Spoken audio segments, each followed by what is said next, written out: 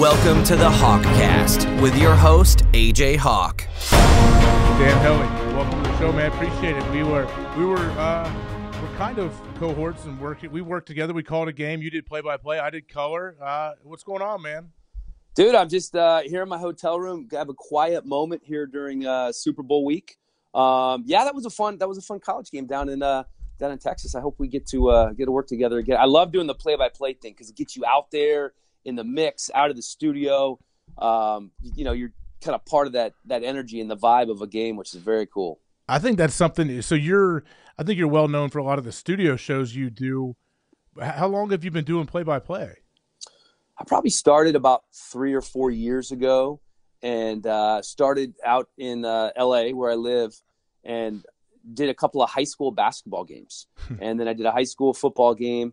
The uh, the local regional sports network out there that does the Lakers and the Dodgers, um, they do the high school state basketball tournament, and that's kind of that was kind of part of the Lakers deal, I think.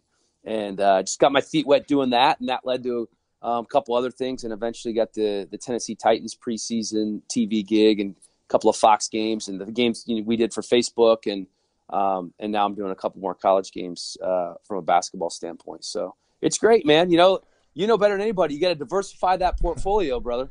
Was that? Did you always want to do play by play, or is it just the fact now that if there's no one, no one's like just a writer now, no one's just a studio guy. They kind of do everything. Is that what you were trying to do, or was play by play always a, a goal? No, I'd I'd never even thought about doing play by play. I always just wanted to do the TV side and um, I think in the last three or four years, as I've seen our business kind of change and evolve, the guys that are really good um, can do a little bit of everything. You know, Bob Costas was, was doing play by play. He does studio hosting. You know, Mike Tirico can do a little bit of everything. So um, I want to keep doing everything that I'm doing, but give me more. I'm just trying to gobble it all up and just you know just learning as I go. Well, uh, what was very impressive for me, so I saw it firsthand. For people that don't know, play-by-play guys calling football games have a spotter next to them that will help help them ID, say who made the tackle, who caught the who caught the touchdown, whatever's going on. And probably an hour before the game that you and I called, they came oh, in. Right. They came in and said, "Oh yeah, hey Dan, sorry, the spotter got sick." Um, and so I remember, I even I think I asked the guy, "All right, so they send who who's gonna be the spotter?" And they said, "Oh no, there's there's no spotter. That's right. I forgot about that, dude. Yeah, that was uh we have a special kinship then. I think that's the only football game I've ever done with no spotter. And you just rolled with it though. They they came in and if you were flustered, you definitely didn't show it. You said, "All right, okay. Oh, all right, yeah, I'm good." And I'm thinking I was like, "Man, I'm I'm just doing color here. I don't really need to ID the guys the second that something happens." And I'm thinking, "How the hell is this going to work?" But it, it the game went off without a hitch and it was Southern Miss at Rice. It's usually unless you're a fan of a diehard fan of those teams, you most people probably don't walk around knowing a whole lot of guys on those on yeah. both those squads. Yeah, I know. You know, you, we both did. We had to kind of bone up before the game, and luckily, I had done one Southern Miss game before that, but I wasn't overly familiar with Rice uh, from that standpoint. And that's you're right. It's not they're not two top 25 teams, you know, from uh, you, you know the SEC or the Big Ten. So yeah, you had to kind of teach yourself throughout the week about those dudes. Yeah, that was that was an impressive feat. No one, I didn't, I couldn't tell you didn't have a spotter the uh, throughout the whole game. It was it was a fun deal. It was fun working with you. I know. So you do basketball too. What's what's harder, basketball, or football for uh, for play by play? I always like to ask you guys. I think that football, there's a lot more preparation that goes into it, just obviously because there are more players. Um, basketball is it's so much faster that when you do a team that you haven't done before, you really don't have a lot of time to look down at your at your board and you know your basketball board's much more simple right i just use a manila folder and draw a couple lines and and um, you know there's going to be 14 15 guys on a team and there's going to be max 12 that play right so it, the first like 10 minutes of a basketball game for me are tough when they're two new teams because i i've gone to shoot around in the morning i've talked to the coaches I know the guys, but you're not overly familiar with with the numbers, right? And it's there's a fast break, there's three passes, there's a dunk. Um, so it all I always wait a beat before I identify the guys just to make sure I get it right. And then after about ten minutes or so, then you can just talk, you know, Thompson to King, you know, for three or whatever it is. but initially you just want to make sure you're not screwing up those names. What about jumping in and doing MMA with the UFC? You did Dana White's what Tuesday Night Contender Series, Yeah, and you're calling fights with your color guys, Daniel Cormier, the the champion, eh, who does a very good job on TV as well, calling a lot of the fights when he's not the guy fighting. How would like was that intimidating? What was crazy for the um, so there were three. There's three guys that I've worked with in my audition. I worked with a guy named Alan Jouban, um, who Handsome, that's a handsome Yeah. bastard, isn't he? I mean, he's he's winning life. He's a Versace model and an MMA fighter. Can you get any better? Than, living in LA, by the way. Yeah. And uh, you know, Alan was awesome. They connected us via email, and he called me within five minutes. He's like, "Hey, man, there's there's uh, a card this weekend. Do you want to get together and watch it? And we can even kind of like practice maybe what we're going to say, or you, you know, I could ask you questions, you could ask me questions." And my initial thought was like, "Wow, I just met this guy in email five minutes ago," and then I'm like, "This is awesome! Like this guy really wants to do this." I said, "Absolutely." I said, "Let's do it. Like, come down to my house. We'll watch." So we watched fights for uh, probably two hours, and he kind of like boned me up on um, certain things in, in UFC that were important, and um, you know, just different moves and stuff that I wasn't overly familiar with. So a week later, two weeks later, we went in for our audition. Alan was great. There were probably eight or nine other teams that were trying out, and uh, somehow I, I got it. Um, and I got paired with Yves Edwards, the Thug Jitsu master, who was one of the early pioneers of MMA. And um, so Yves and I did four of the events, and then uh, Brendan Fitzgerald was uh, paired with somebody different. Uh, they did four of the events, and then Snoop Dogg called the events as well. So Snoop did the Snoop cast with Uriah Faber, and you could toggle in between. I called mine the straight cast, right? Straight cast and the Snoop cast, and uh, and then I did the uh, Ultimate Fighter uh, 26 finale. Um, that was the one where they uh, where it was all women in the house, um, and that's the one I called Cormier, and we did that one uh, in Vegas. That wasn't at the TUF Gym. Um, that was you know had a big crowd, and that was my first one uh, like that. And Cormier could not have been any cooler. Um, love that dude. He he actually had there was a big college wrestling tournament. You know, he's a great wrestler at Oklahoma State in the Olympics, and he had his uh, college buddies who were all coaches all over the country, like twelve of them uh, in town with their teams, and he took them all out to dinner. And he's he's like, "What are you doing?" And I'm like, I, "I don't know. I don't have any plans." He's like, "You want to come out with me and my boys?" And so you just I just sat there at the table with all I'm listening to him tell college wrestling stories. So it was, it was awesome. And of course, Cormier picks up the tab for everybody. So I couldn't have been happier um, to see him win. And I, dude, Cormier like trying to t- trying to hold a belt in two weight classes. This is going to be unbelievable. Yeah, man, he's fighting Stipe here uh, July seventh, I believe. It's during like International Fight Week out in Vegas. Do you know if you're gonna are you gonna take part in anything during that week with the UFC? I, I don't know. I have uh, I, I got to wrap up the football season, and then um, I know I'm going to have another event or two coming up after uh, after football. I just don't know when it's going to be yet. So it'll it'll probably be um, during the summer. So I don't. I'm not sure. Hopefully it'll be a hopefully it'll be a good card though. Yeah. What? So what do you do there with with NFL Network for uh, Super Bowl week? You've been there all week. You have a big set there. I know you. I've seen you on. I've seen your Twitter and checked everything. You you're rubbing shoulders with all the big wigs, man. All the great players coming through the set. What do you do like all week as far as hosting and and even at nights? Like, do you, do you get to go to the events? Yeah, no, it's it's great. I, I have a um, I actually have a great schedule. We do our regular total access show, and we'll do it from different spots. You know, we'll have a set in the Super Bowl experience. Last night, um, we did it at a place that looked like we were in an ice fishing hut. Um, we did, you know, outside it was it was negative seven in, in Minneapolis when we woke up today, so they've had to adjust a few of the a few of the sites. But they have different guests every day. You know, we had um, we had Deshaun Watson did a little football throwing contest with him today. Just did something with uh, Dak Prescott. Um, you know how it works. So you, the the marketing guys run you run you guys through, and you, you run the gauntlet, and you do the same interview twenty five times. So well, that you have the tough job because you have to work in like, well, hey, he's here selling uh Oikos yogurt, and so you have to come somehow mention it. And Right, Dak, right. Like Dak has to get back to, well, you know, I, I, my arm feels great, but my arm feels much better when I get to eat my yogurt in the morning. And then they Right. you have to you have to pub his yogurt or whatever.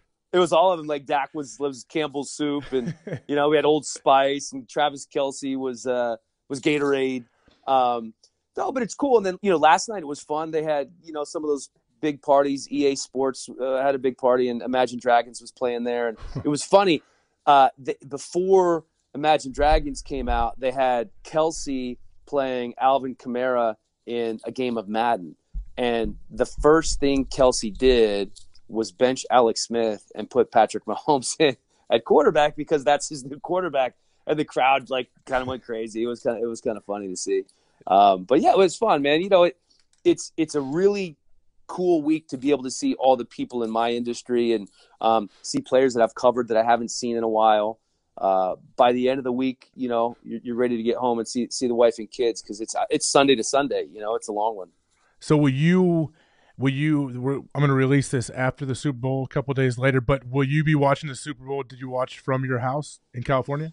Yeah. So I'll. I, I normally stay for the game, um, and I I do post game stuff. This year they switched things around a little bit, and they are they're always worried about the weather. So I have to do the Monday show in studio, and they can't have you missing a flight if you're supposed to be in studio Monday. So um, yes, I will be watching it at my house because the last time uh, when the Super Bowl was in New York, when I went back early, um, I went to a Super Bowl party, and it was a disaster. Like you, I couldn't hear the game. So I told my wife, I said, "Baby, you can stay, but I, am going home."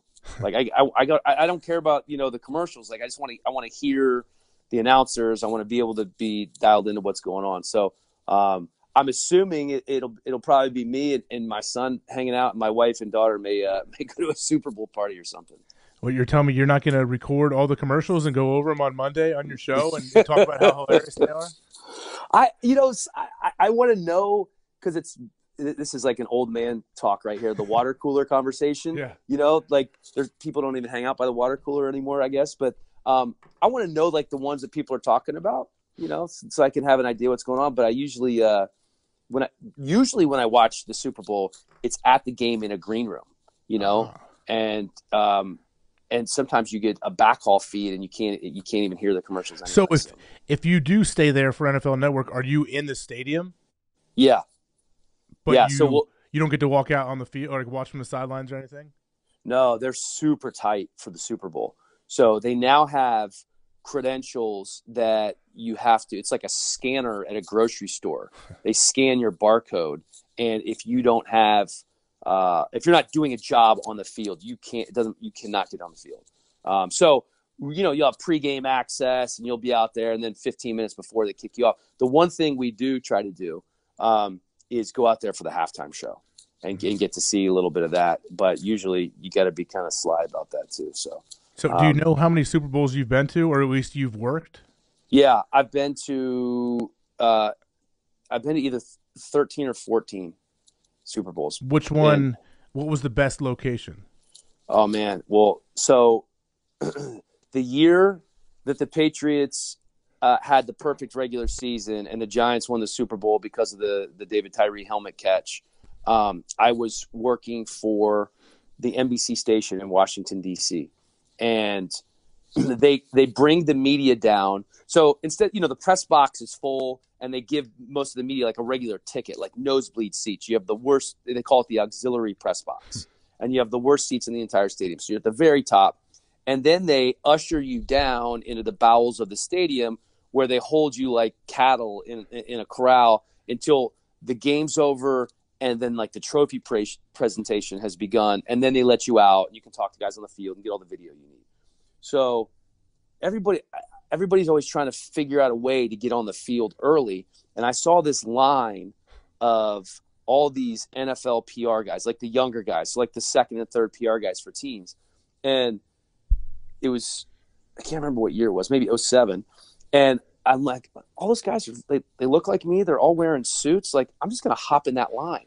So I hopped in the line and I was actually on the Giants sideline when all that for the last five minutes of that game.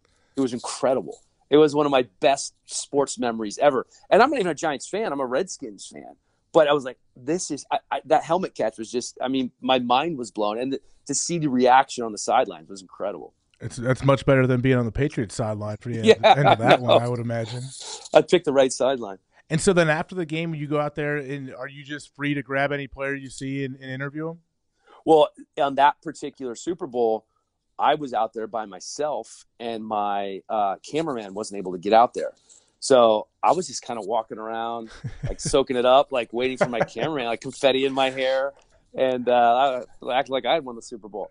And then my cameraman finally gets out there, and I always like getting the guys on the field, especially when you win, because it's you get that real, you know, that real reaction, and it's not you haven't had that cool down period in the locker room.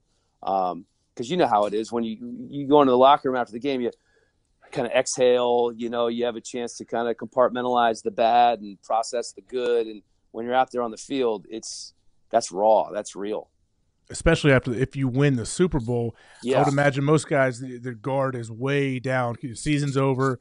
You've hit the pinnacle. It doesn't really matter. There's no there's there's no repercussions for anything you say on the on the field post game Super Bowl unless you kill a guy or something. You can say whatever you want as the player. Oh, and they're just so happy. Yeah, it's just you know, families there, tears are flowing. You just get that raw emotion on tape, and if you can capture that, you get some really cool moments. What about a, a Belichick presser? You ever been in one of those? Yeah, I I don't ask questions in Belichick you pressers. Never, you never asked one? no, I generally um, because we have reporters, you know, who are covering the teams. Um, in, in the Super Bowl, we have two or three who are with each team. So I, am usually in there just to kind of see what's going on and, and, and hear the press conferences. And um, I, have been lucky enough um, to be able to, to chat with Belichick a few times, you know, away from the cameras. And I've always been with somebody who Belichick is, has, has liked and respected, you know, Willie McGinest or somebody else that I work with. And um, Belichick's been great. He's a he's an awesome storyteller, uh, really cool, normal, down to earth guy. So I feel like if I ever asked a stupid question at a press conference, I, I, would I would get my, my card yanked by Belichick next time we visited. He know. Don't you think he's aware and he knows what he's doing? Hundred percent, hundred percent. Before I knew him a little tiny bit off the field, I'm like, why does he do that? Because I, I don't like I don't like when people embarrass reporters in press conferences on purpose. Like, just be respectful. Mm-hmm. And but I think with him and maybe we do give him a pass just because he's Belichick and, and he's the goat. Um, but I think you just kind of know what you're going to get. You know, there was a there was a press conference earlier this week where it was a it was a Spanish reporter um, asking a couple of questions about Brady and comparing Brady to Diego Maradona, a famous soccer player, and you know, it was a, it took a long time to, for the question to come out, and the and the guy, you know, was trying to formulate his words properly in English, and um, Belichick answered by saying, "There's no other quarterback I'd rather have than Tom Brady." Yeah, that was it.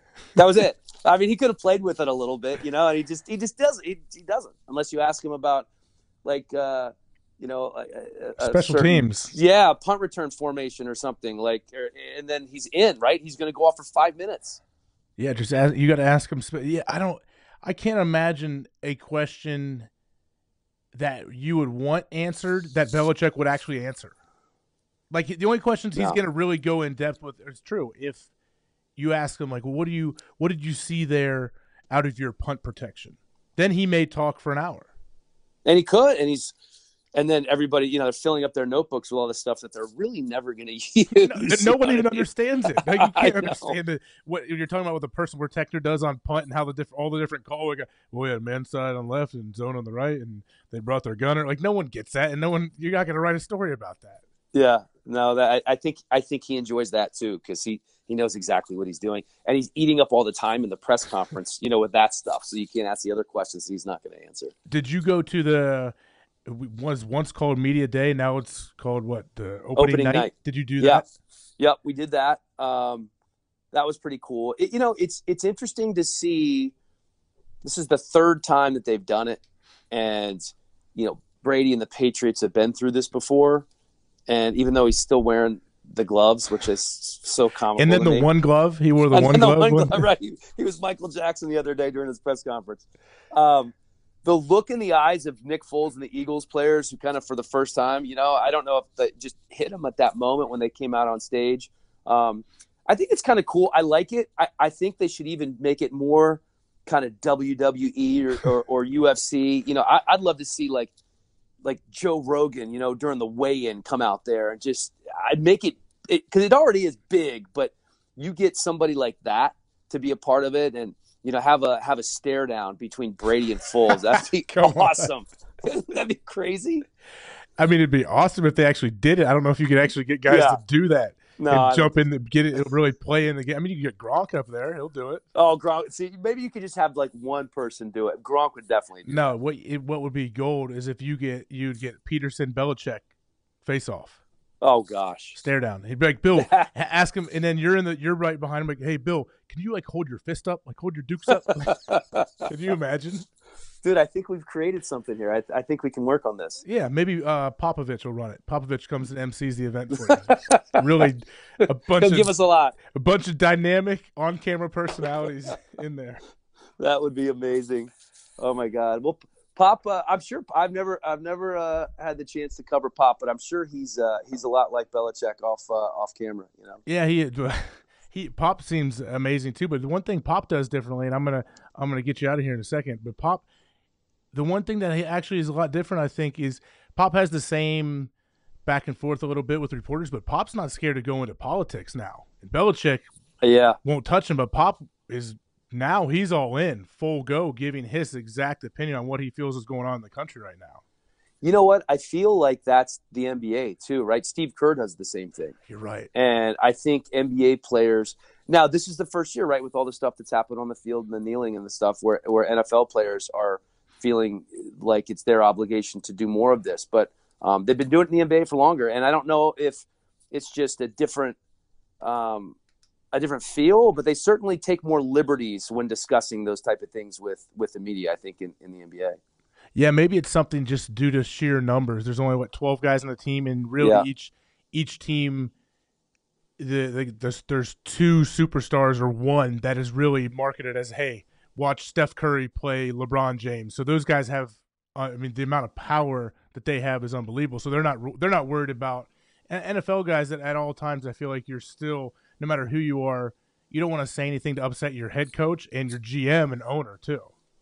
Well, I mean, I hate to boil it down to something as simple as money, but you know their con- their contracts are just lost my voice. That's not good. I felt like uh, Sean McDonough in that Uh-oh. game when he voice cracked. um, you know, the, the, they have the guaranteed contracts, right? And in the NFL, mm-hmm. you really don't. I, I got into a little debate with uh, one of our guys the other day, and we were talking about Kirk Cousins and um, the, the Alex Smith contract that was 71 million guaranteed, and he goes, "That's not really guaranteed." I go, well, "It's guaranteed for injury." He goes, "Yeah, but M- NBA contracts, Major League Baseball contracts, those, those are guaranteed for guaranteed, nothing to do with injury. So big difference."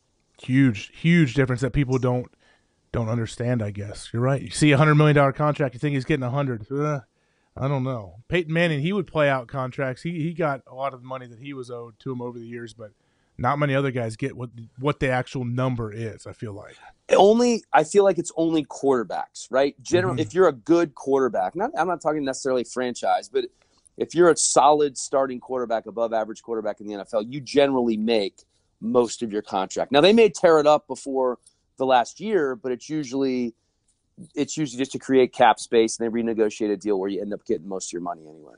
Yeah, good point, man. All right, Dan Hellie, I know you're at Dan Hellie on Twitter. You're going to be everywhere. Everywhere we look, we see Dan Hellie doing play-by-play football, basketball, MMA, UFC fights. I mean, what can't you? What's next? Soccer and hockey? Uh, dude, no chance. That'd no? be tough. Why? If I, I, I tell you, I really admire the people that go like what, pay attention during the Winter Olympics. Guys that are calling like the heptathlon and uh, you know curling, like that. Uh, think about that for a minute, AJ. That that's tough. If you haven't done that before, now their analyst was somebody who will have played, but as a play-by-play guy, if you haven't done that before, it, you are learning a foreign language. And for a lot of these guys, they end up doing it, you know, three, four months. Of course, they're preparing before the Olympics start, but they're learning a whole new language you know, and they're talking about something that is, is totally foreign to them. So that's that's something I'm going to watch for in the Olympics to to see these guys in these obscure sports and how they how they call that. Well, doesn't does NFL Network have a relationship with NBC somehow? Yeah, because of Thursday Night Football, which is no longer. So now we're doing Thursday Night Football with Fox. But um, yeah, Yeah, well, you never know, man. You may be in one of those booths in is it Connecticut where I, I, I was visiting NBC, I think in, in, Stamford, wherever it is, and they were mm, they call a lot of them remotely from their little sound isolation booths. Yeah, yeah, which a lot of people don't know, but that's a good point. Get especially, out there, man. Get out there. Do some curling, some uh the shooting in the ski when you ski and shoot a rifle. What's that one? That... I think that's the heptathlon. I think. Oh, pentathlon. Man. No, the pentathlon is. That's next. Called. That's next. Yeah. Add it to the I'm resume, Dan. See, I have something to work on now. All right, man. Thanks a lot. Appreciate you coming on. All right, brother. No problem. See ya. We're glad you could join us for today's conversation. After you subscribe to the show, head over to thehawkcast.com or reach out to AJ directly on Twitter at officialajhawk to recommend future guests that will help us inspire people to keep talking. Thanks again, and we look forward to speaking with you next time on the Hawkcast.